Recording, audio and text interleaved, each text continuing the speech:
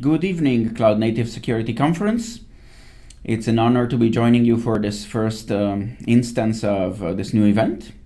I'm joining you from Boston. This is Red Hat's famed uh, Westford office, although you can't see much of it. And this is just a small conference room that uh, we turned into a virtual event recording booth. But um, with that, and without further ado, let's get going. Now, my marketing manager wouldn't let me um, get away from the concept that I need to introduce myself. So here it is very briefly. Had the privilege of spending my entire career in free and open source software. Uh, I was the product management director for Ceph at Red Hat uh, for the last seven years. I previously was the Ubuntu Server PM at Canonical. Um, if you remember 1404, that was my favorite release there. And if you go back the decade, I was the systems management czar at SUSE, uh, the dreaded systems management czar, actually.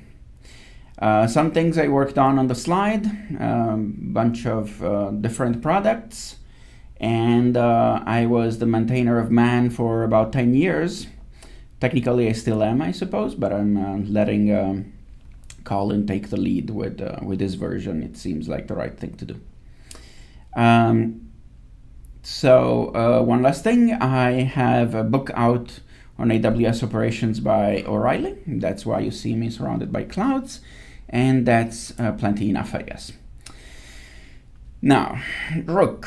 For those of you that are not in, in storage, Rook helps reduce the operational burden storage team faces, creating horizontally scaled, self-healing clusters in Ceph and um, Ceph is complemented by Rook, making them increasingly self-managing, even self-scaling, you could say. Rook enables Ceph to deploy Kubernetes with, on Kubernetes with ease, enabling the benefits of containerization. Storage is just another workload running on top of the compute plane. Or on bare metal, as an external entity for petabyte scale independently managed storage clusters serving different Kubernetes clusters and possibly other workloads. So as usual, we can make things uh, abundantly complicated. Uh, the combination of the two is a quite sweet storage solution uh, in general and obviously uh, perfect for Kubernetes, which is what it is designed for. Now, security practices harden a specific point on the infrastructure.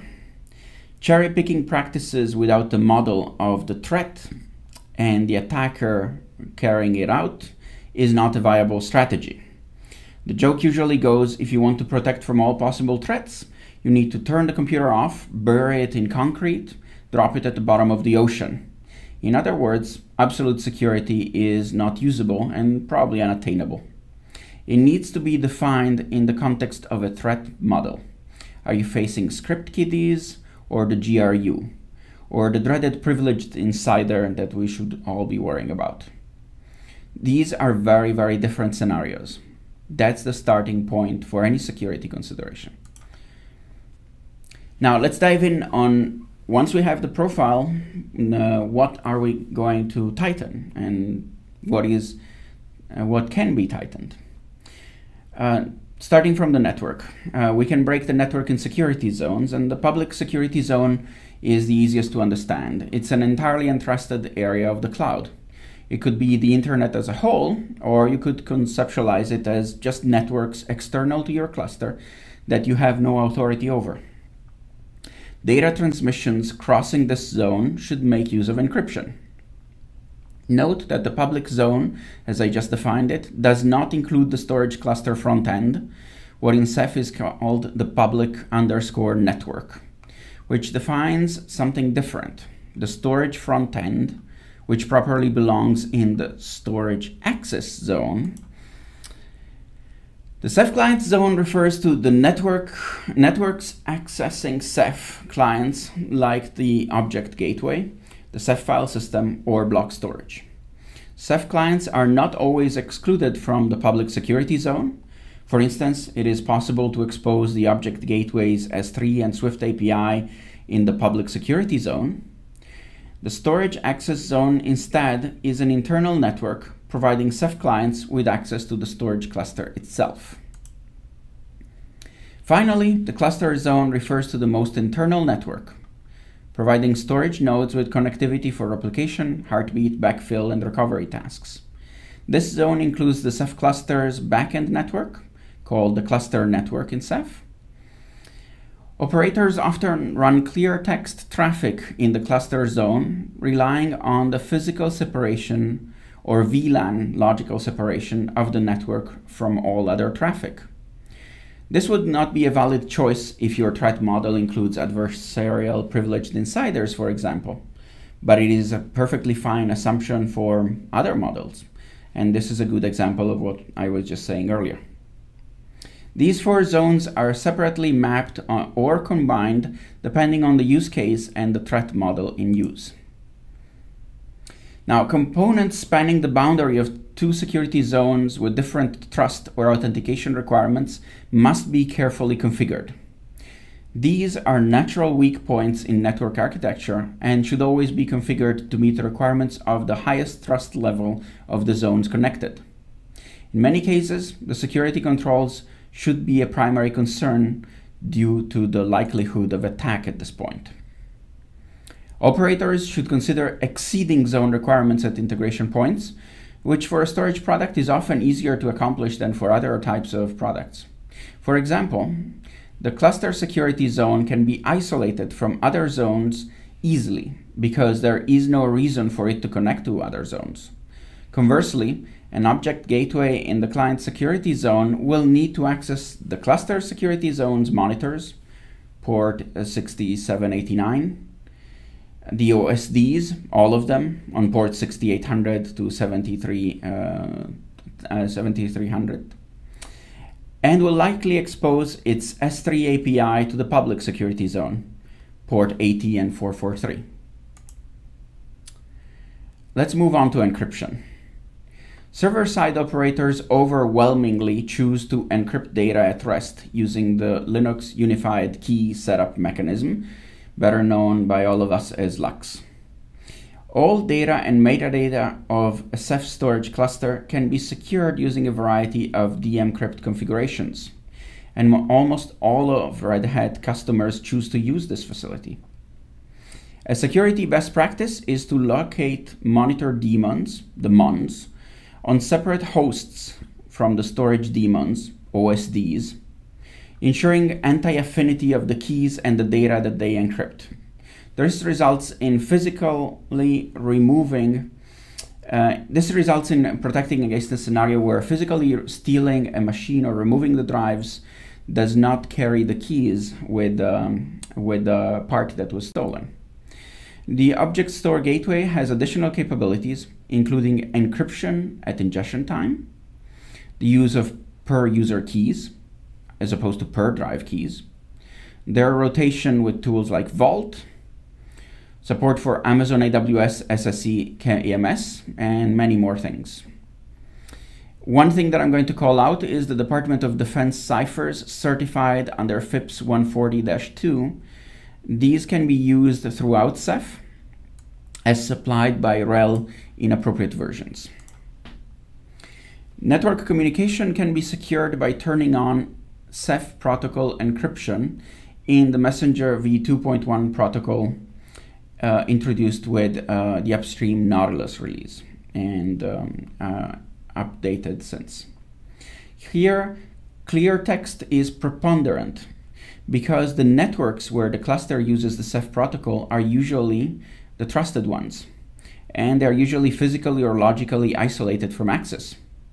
Compatibility and overheads are the primary reason why backend protocols are not encrypted by default, but in, but in most use cases, the performance impact is negligible for a properly designed cluster. Latency is shadowed by the network communication, provided that you size the CPU uh, the CPU core count to account for the fact that you're going to encrypt everything. So it's going to cost you a little bit in hardware, but you can do it without, uh, without uh, seeing a performance impact for most workloads. Looking at more specific protocols, the S3 service is usually secured between RGW and uh, the S3 client with TLS on port 443. Although plain HTTP on port 80 is obviously also an option depending on the nature of the data served, um, confidential versus public. There is plenty of scenarios where uh, RGW may be um, uh, serving just web pages. TLS termination at uh, an HA proxy endpoint is a special case where the link between HA proxy and RGW itself is in the clear text and needs to be located in the appropriate security zone.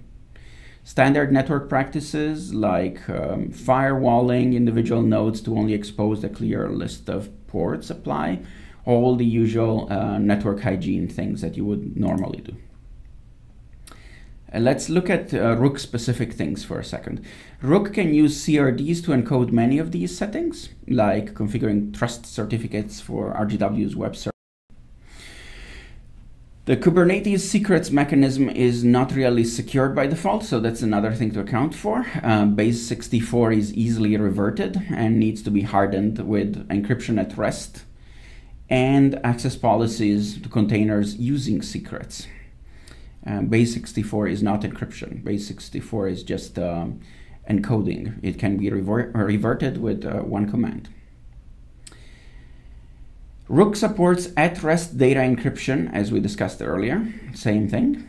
With in-flight Ceph protocol encryption uh, not supported yet, but coming soon. You should in any event be using the cloud's extremely flexible software-defined networking to segregate unencrypted traffic um, to private networks. Really, on, on public cloud environment, you have no excuse not to be doing things that way. You can go wild with uh, creating zones. Kubernetes user permission system applies to PVs, so permissions, quotas, and all the rest, all of that comes from Kubernetes with nothing um, for Rook to do here, which is great. Uh, more interesting perhaps is uh, KMS support in the CSI driver. This allows individual volumes to be encrypted with their own key, uh, something that, uh, for example, in block storage we would like to do, um, but we cannot do without Rook at this point. Not yet, we're working on it. CephADM, CephAnsible, Ceph and other deployment and day one tools use SSH to provide a secure command path for install and upgrade operations. This is common these days. It is the control channel popularized by Ansible for host management. The dashboard is usually not exposed to the world, but it needs to be reachable by the operator's workstation to be of use. Um, lastly, the manager daemon supports the whole infrastructure and needs to be reachable on the storage access zone.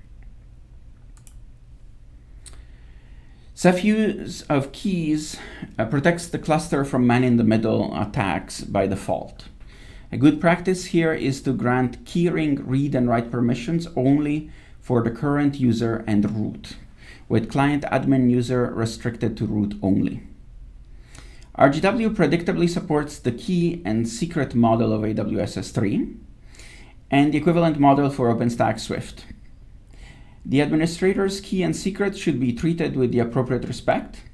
Use administrative users sparingly to reduce risk profile, as you would do anywhere else. RGW users' data is stored in Ceph pools, which should be secured as we discussed previously regarding data at rest uh, uh, processes. LDAP, Active Directory, and Keystone identity vaults are all supported. Operator actions against the cluster are logged and should be periodically uh, reviewed, as well as aggregated to your log management system if you have one, and you should have one. Once data is deleted from a Ceph cluster, it generally cannot be recovered for practical use. Uh, there are exceptions, however. RBD has a new facility called Trashbin, where um, dynamic use of spare pool capacity can be used to retain deleted images until that um, spare capacity is needed or until a certain number of days has elapsed. Uh, similarly, on RGW, versioning of object store buckets may result in deleted objects preserved as part of version history until they are deleted by a policy or by the administrator. Wherever user data retention is a concern, uh, configure your um, data storage pools accordingly.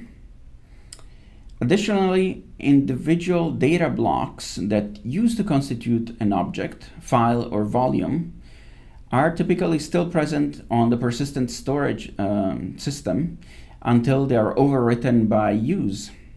Um, you cannot overwrite a Ceph cluster just by writing a lot of data to it. It's, um, it's not going to work. So secure deletion is another uh, question that we often see and the easiest way to uh, sanitize media is to uh, do the right thing and use OSD encryption. And when you need to sanitize the media, you um, forget the key. And um, that's the most effective way to, um, to be able to discard uh, drives safely without overwriting with a separate device or degaussing or shredding or anything of that sort, which is usually not possible when you have to return them uh, under warranty. Um, Hardening options are highly vendor dependent. Uh, the following are some of Red Hat's choices. Other Ceph distributions will of course vary. We ship with SE Linux on by default in enforcing mode. Um, of course, you know that SE Linux is sort of a religion at Red Hat, so that's hardly surprising. And we can make use of FIPS 140-2 certified ciphers as supplied by RHEL when configured to do so. Hardening of binaries is also of interest um, because of what I told you about um, daemons sitting at the boundaries between security zones and being natural uh, targets for attacks to cross those boundaries. Uh, I believe Red Hat Ceph storage uh, binaries use seccomp, PIE, and several, if not all, of the ASLR options, but um, I didn't manage to catch my build master to confirm before recording this, so I'll have to defer uh, this to the Q&A session if you are interested. In any event, these are worth exploring because it makes uh, exploiting of overflows or that kind of binary attacks all, um, all that much harder. And on that note, um, that's what we have for today. I hope that I've given you some useful information. I'm very interested in hearing what your questions are. And um, remember, speakers are Pavlovian devices. So if you like the talk, let us know that you did. Uh, if you wanted more of something, um, tell us what is missing, what, uh, what you'd like to hear. And um, I guess that's it for today. Thank you.